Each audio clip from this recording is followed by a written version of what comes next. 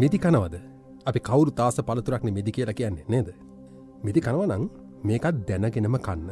අද CSTV අපේ කතාබහේ මාතෘකාව මිදි ගැන. විට්ස්විනි මෙහෙම තමයි උද්භිත විද්‍යාවෙන් මිදි හඳුන්වන්නේ. පළතුරු අතර විශිෂ්ටය කියලා ඉන්දියාවේ ලියවුණ චරක කියන ආයුර්වේද ග්‍රන්ථයේ සඳහන් වෙනවා මේ මිදි ගැන.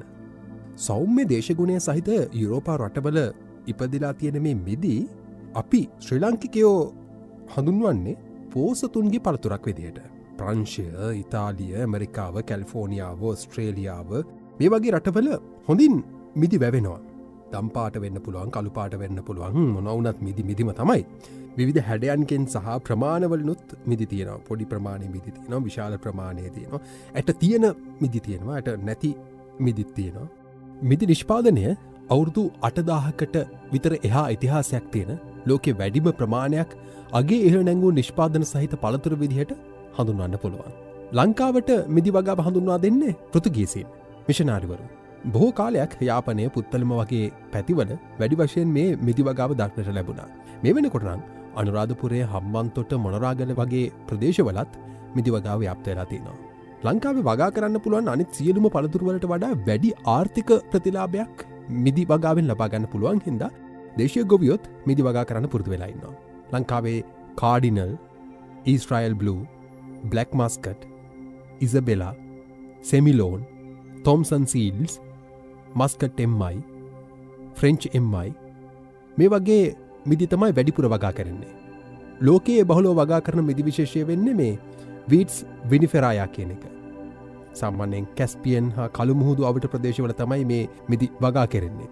නැවුම් පළතුරක් විදිහට ආහාරයට ගන්න වයි නිෂ්පාදනය කරන්න. වියලි මිදි නිෂ්පාදනය කරන්න මේ මිදි ගන්නවා. දන්නවද ලෝකෙ මුළු මිදි නිෂ්පාදනෙන් සියට හැත්තෑවක්ම ගන්නේ වයි නිෂ්පාදනය කරන්න. සීට විසි අටක් විතර නැවුම් පළතුරක් විදිහට ආහරයට ගන්නවා සිර දෙකක් වගේ තමයි වියලි මිදි සඳහා යොදාගන්නේ.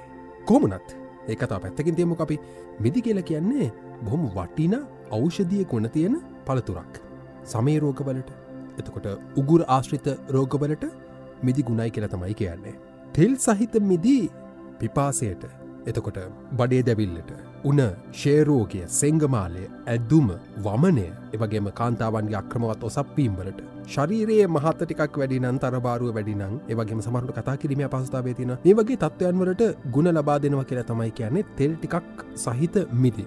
බඩේ අම්ල තත්ත්වය අඩු කරලා හර්ජීරණය පහසු කරවන්න ඉන්දියාවේ චරක ආයුර්වේද ග්‍රන්ථය සඳහන් වෙනවා මිදිවල වාජී කරන ගුණය තියෙනවා කියලා. අරිත්තක තමයි පයස්ගතවීම වලක් කලා තරුණ බවත් රැකගන්න මිදි ටිකක් වැඩිපුර කෑවනං අපිට පුළුවන්.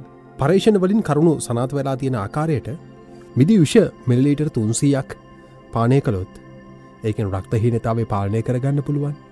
විවිධ අම්ල මගින් රුදිර පිරිසිදු කිරීමකට ලක්වෙනවා ඇමරිකාඩු පර්ේෂණයක ප්‍රතිඵල විදිහට මිදිවල පිළිකානාශක ගුණ අන්තර්ගත වෙනවා කියලත් වාර්තා වෙනවා.